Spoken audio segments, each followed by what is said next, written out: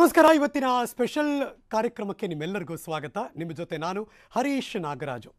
ಒಂದೂವರೆ ವರ್ಷಗಳಿಂದ ಕೊರೋನಾ ಅಂದ ತಕ್ಷಣ ದೂರ ದೂರ ಇರೋಣಪ್ಪ, ಯಾರು ಹತ್ತಿರಕ್ಕೆ ಅಂದರೆ ಸನಿಹಕ್ಕೆ ಬರೋದು ಬೇಡಪ್ಪ ಅಂತಲೇ ಅಂತಿದ್ವಿ. ಆದರೆ ಇಲ್ಲೊಂದು ಟೀಮ್ನವ್ರು ಇದ್ದಾರೆ.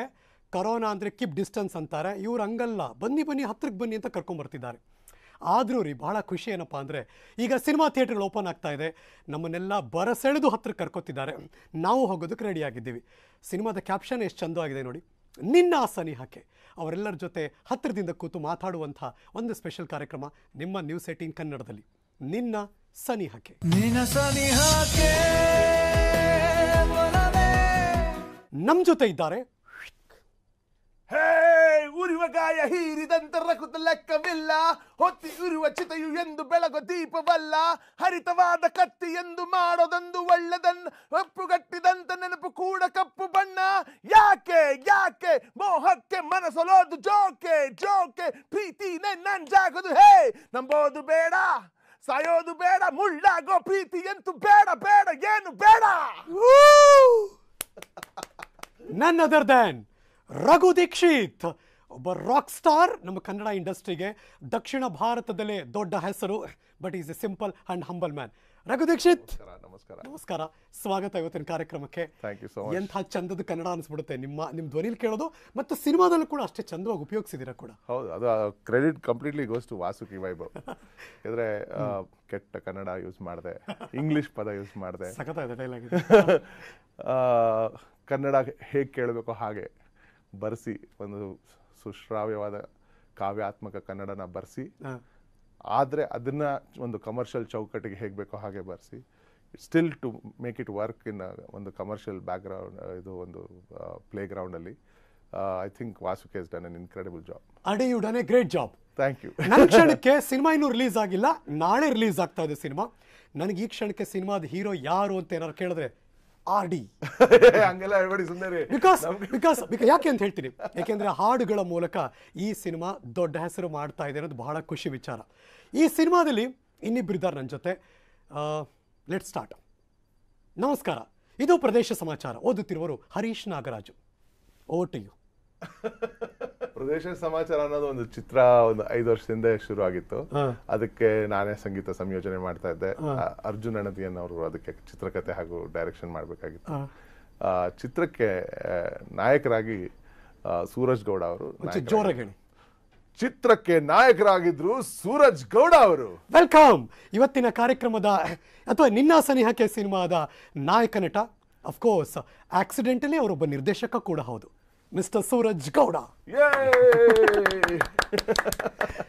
over to you opening remarks ಖಂಡಿತವಾಗ್ಲೂ ನಾವು ಕತೆ ಬರೀಬೇಕಾದ್ರೇನೆ ನನಗೆ ಗ್ಯಾರಂಟಿ ಇತ್ತು. ನಾನು ನಾನು ರಾಮ್ ಕಾಮ್ ಮಾಡಿದ್ರೆ ನಾನು ಈ ತರ ಒಂದು ಸಿನಿಮಾ ಮಾಡಿದ್ರೆ ನಾನು ಡೈರೆಕ್ಟ್ ಮಾಡ್ತಿದ್ರೆ ಅದಕ್ಕೆ ರಘು ದೀಕ್ಷಿತ್ ಅವರ ಮ್ಯೂಸಿಕ್ ಕೊಡಬೇಕು ಅಂತ ಮೊದಲಿಂದನೇ ನಮಗೆ ನಮ್ಮ ತಲೆಯಲ್ಲಿ ಫಿಕ್ಸ್ ಆಗಿತ್ತು. ನಾನು ಪ್ರೊಡ್ಯೂಸರ್ಸ್ ಕೂಡ ಹೇಳಿದ್ದೆ if only if Raghu is giving music let's go ahead with the film ಅನ್ನೋದನ್ನ ಮುಂಚೆನೇ ಹೇಳಿದ್ವಿ. ಆ್ಯಂಡ್ ನಾವು ಹೋಗಿ ಕತೆ ಕತೆನ ನರೇಟ್ ಮಾಡಿದ ಮೊದಲನೇ ಪರ್ಸನ್ನೇ ರಘು ರಘು ದೀಕ್ಷಿತ್ ಅವರು. ಆ್ಯಂಡ್ ನಮ್ಮ ಅವರ ಪರಿಚಯ ಹೌದು ಪ್ರದೇಶ ಸಮಾಚಾರ ಅನ್ನೋ ಒಂದು ಸಿನಿಮಾಯಿಂದ ಶುರುವಾಗಿತ್ತು ಅವರಂಥ ಪರ್ಫೆಕ್ಷನಿಸ್ಟ್ ಇನ್ನು ಯಾರೂ ಇಲ್ಲ. ಯಾಕೆಂದರೆ ಅವರು ಇಷ್ಟೊಂದು ಸಿನಿಮಾಗಳು ಮಾಡಿದ್ದಾರೆ ಇಷ್ಟೊಂದು ಹಾಡುಗಳು ಹಾಡಿದ್ದಾರೆ ಅವ್ರು ಸುಮಾರು ಆಲ್ಬಮ್ಗಳು ಆಚೆ ಬಂದಿದೆ. ಬಟ್ ಒಬ್ಬ ಡೈರೆಕ್ಟರ್ಗೆ ಒಂಚೂರು ಸ್ಯಾಟಿಸ್ಫ್ಯಾಕ್ಷನ್ ಇಲ್ಲ ಅಂತ ಹೇಳಿದ್ರು. ಅದು ನಾನು ಬಾಯಲ್ಲಿ ಕೂಡ ಹೇಳೋದಿಲ್ಲ. ನನ್ನ ಮುಖದಲ್ಲಿ ಅದನ್ನು ಹುಡುಕ್ಬಿಟ್ಟು ಅವರು ಅದಕ್ಕೋಸ್ಕರ ಅಂತ ಅವ್ರು ಮಾಡೋ ಪ್ರಿಪ್ರೇಷನ್ಸ್ ಇದೆಯಲ್ಲ ದಟ್ ಈಸ್ ಅಮೇಝಿಂಗ್ ಯಾಕೆಂದರೆ ಏ ಹೊಸ ಡೈರೆಕ್ಟ್ರು ನಾನು ಎಷ್ಟೊಂದು ಸಿನಿಮಾ ಮಾಡೀನಿ ಎಷ್ಟೊಂದು ಹಾಡು ಹೇಳಿದ್ದೀನಿ ಅಂತ ಉಡಾಫೆ ಮಾಡ್ಬೋದು. ಬಟ್ ಇಲ್ಲವೇ ಇಲ್ಲ. ಈಗ ನಿಮ್ಮ ಹತ್ರ ಕೂತಿರೋರ ಬಗ್ಗೆ ನಮ್ಗೊಂಚೂರು ಗೊತ್ತಿಲ್ಲ. ಪರಿಚಯ ಮಾಡಿಕೊಡಿ. ನಮ್ಮ ಪಕ್ಕದಲ್ಲಿ ಕೂತಿರೋರು ದೊಡ್ಡ ಮನೆಯ ಮೊದಲನೇ ಆಕ್ಟ್ರೆಸ್ ಅಂತ ಹೇಳ್ಬೋದು. ನಾಯಕಿ ನಟಿ. ಹೌದು.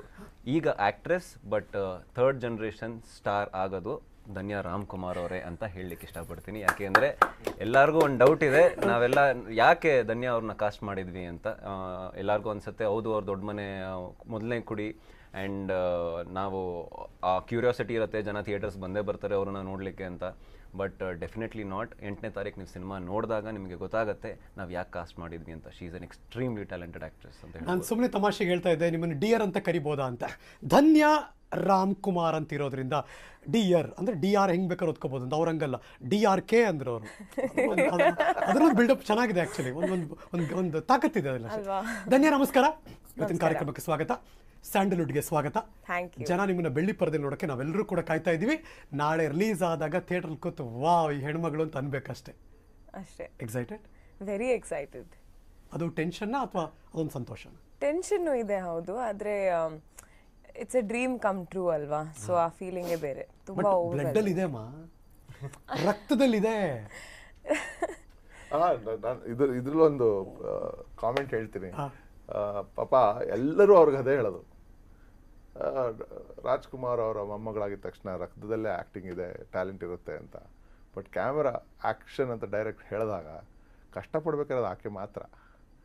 ಪರ್ಫಾರ್ಮೆನ್ಸ್ ಹಂಗಿದೆ. ಪರ್ಫಾರ್ಮೆನ್ಸಾ ಸರ್ ಅದು? Unbelievable performance it's W O W what a compliment C ಹಂಗೆಲ್ಲ ಸುಮ್ ಸುಮ್ಮನೆ ಈ ವ್ಯಕ್ತಿ ಹೊಗಳೋದೇ ಇಲ್ಲ ನಂಬರ್ ಒನ್ ಮುಖಕ್ಕೆ ಕೊಡ್ದಂಗೆ ಹೇಳುವಂಥ ವ್ಯಕ್ತಿತ್ವ. ಈ ಸಿನಿಮಾದಲ್ಲಿ ಅಥವಾ ಟ್ರೈಲರ್ ನೋಡಿದ ಪ್ರಕಾರ ಮುಖಕ್ಕೆ ಕೊಡ್ದಂಗೆ ಅವರು ಮಾತಾಡ್ತಾರೆ. ಅವ್ರ ಮುಖಕ್ಕೆ ಹೊಡೆಯೋದು ಬರೀ. ಸ್ಟ್ರೈಟ್ ಇಟ್ಟೆ ಅದು. ರಿಯಲ್ ಲೈಫ್ ಕಾರ್ಡ್ ಓ ಹಂಗೆ. ಅಂದ್ರೆ ಸ್ವಲ್ಪ ಸಿಮಿಲಾರಿಟೀಸ್ ಇದೆ ಹೌದು. ಸ್ಟ್ರೈಟ್ ಹಿಟ್ ಅಂದ್ರೆ ರಿಯಲ್ ಲೈಫಲ್ಲೂ ಡಿಮ್ಯಾಂಡ್ ಆದಾಗ ಆಗಿರ್ಲೇಬೇಕು. ಏನ್ ಗುಣ ಬಂತು? ತಾತನಿಂದ ಅಥವಾ ಅಪ್ಪನಿಂದ? ಕೈಂಡ್ನೆಸ್ ಅಂತ ಹೇಳ್ಬೋದು. ಅವ್ರ ಎಲ್ಲರ ಜೊತೆಗೂ ಚೆನ್ನಾಗಿರ್ತಿದ್ರು. ಯಾವಾಗಲೂ ಒಂದು ಸ್ಮೈಲ್ ಇಟ್ಕೊಂಡು ಓಡಾಡ್ತಿದ್ರು. ಸೊ ಅದು ನಾನು ಟ್ರೈ ಮಾಡ್ತೀನಿ. ವಾವ್. ಈ ಸಿನಿಮಾ ಇದುವರೆಗೆ ಸದ್ದು ಮಾಡಿದ್ದೆ ಅದರ ಅಫ್ಕೋರ್ಸ್ ಬ್ಯಾಕ್ಗ್ರೌಂಡ್ ಸ್ಕೋರ್ ಇಲ್ಲ ಅಂತಲ್ಲ ಬಿಕಾಸ್ ಆ ಸೌಂಡಿಂಗ್ ತುಂಬ ಚೆನ್ನಾಗಿ ವಾವ್ ಅನ್ಸುತ್ತೆ ಇಲ್ಲ ಅಂತಲ್ಲ. ಜೊತೆಗೆ ಮ್ಯೂಸಿಕ್ ಆಯಾಮ. ಇದೆರಡೂ ಕೂಡ ದೊಡ್ಡ ಮಟ್ಟದಲ್ಲಿ. ಆಗಲೇ ಪ್ರೊಡ್ಯೂಸರ್ ಬಗ್ಗೆ ಮಾತು. ಏನು ಹೇಳಿದ್ರು ಪ್ರೊಡ್ಯೂಸರು ಅದಕ್ಕೆ ಹೂ ಅಂದರು ಅಂತ. ಬಟ್ ಲೆಟ್ ಮಿ ಅಪ್ರಿಷಿಯೇಟ್ ಮತ್ತು ಪ್ರೊಡ್ಯೂಸರ್ಗೆ ಈ ಮೂಲಕ ಸ್ಕ್ರೀನ್ ಇಲ್ಲದೇ ಇದ್ದರೂ ಅವ್ರು ಸಾಮಾನ್ಯ ಬ್ಯಾಕ್ ಹ್ಯಾಂಡಲ್ಲಿ ಕೂತು ಕೆಲಸ ಮಾಡೋರು. ಓ ಟಿ ಟಿಗೆ ರಿಲೀಸ್ ಮಾಡದೆ ಅದನ್ನು ಕನ್ನಡ ಸಿನಿಮಾ ಥಿಯೇಟ್ರಿಗೆ ಬಂದು ಆ ಟ್ರೀಟ್ ಟ್ರೀಟನ್ನು ಕೊಡಬೇಕು ಅಂತ ಯೋಚನೆ ಮಾಡಿರೋದಿಲ್ಲ. ನಿಮ್ಮ ಪ್ರೊಡ್ಯೂಸರ್ ಮತ್ತು ನಿಮ್ಮ ಗೆಳೆಯರು ಹೌದು. ಅವ್ರಿಗೊಂದು ಅಭಿನಂದನೆ ಸಲ್ಲಿಸ್ತೀನಿ ನಾನು. ಖಂಡಿತವಾಗ್ಲು. ಯಾಕೆಂದ್ರೆ ನಾನು ನನಗೆ ಅವರ ಪರಿಚಯ ಒಂದು ಹದಿನೈದು ವರ್ಷದಿಂದ ಇದೆ. ಹೌದು. ಅದಕ್ಕೆ ಗೆಳೆಯರು ಒಂದು ಮೆನ್ಷನ್ ಹೌದು ಹೌದು. ಕ- ನಮ್ಮ ಮೈಸೂರಿನಿಂದ ನಮ್ಗೆ ಪರಿಚಯ. ನಾವು ಕಾಲೇಜ್ ಫ್ರೆಂಡ್ಸ್ ಕೂಡ. ಅಂಡ್ ಅವರು ಕಾನ್ ಒಂದು ಕಾಂಟೆಂಟ್ ಡೆವಲಪ್ ಮಾಡಬೇಕು ಅಂತ ಬಂದಾಗ ನಾನು ಕೂಡ ಆಗ ಕತೆ ಬರೀತಿದ್ದೆ. ಅಂಡ್ ನನ್ನ ಕತೆನೇ ಫಸ್ಟ್ ನರೇಟ್ ಮಾಡಿದೆ.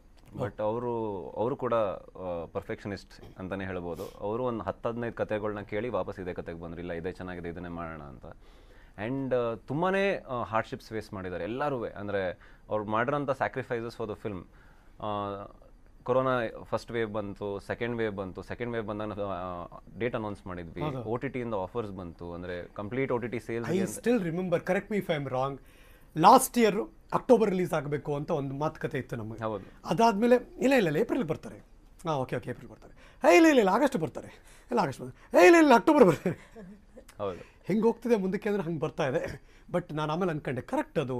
ಮುಂದಕ್ಕೆ ಹೋಗಿದ್ದು ಒಳ್ಳೇದಾಯಿತು. ನಾನು ಆಗಲೇ ಮೆನ್ಷನ್ ಮಾಡೋದಲ್ಲ ಕರೋನಾ ಅಂದರೆ ಕೀಪ್ ಡಿಸ್ಟೆನ್ಸ್ ನಿನ್ನ ಸನಿಕ ಸನಿಹಕ್ಕೆ ಅಂದರೆ? More closer more closer so ಹಾಗಾಗಿ ಅದು ಕಾಂಟ್ರವರ್ಷಿಯಲ್ ಆಗಬಾರ್ದು ಅಂತ.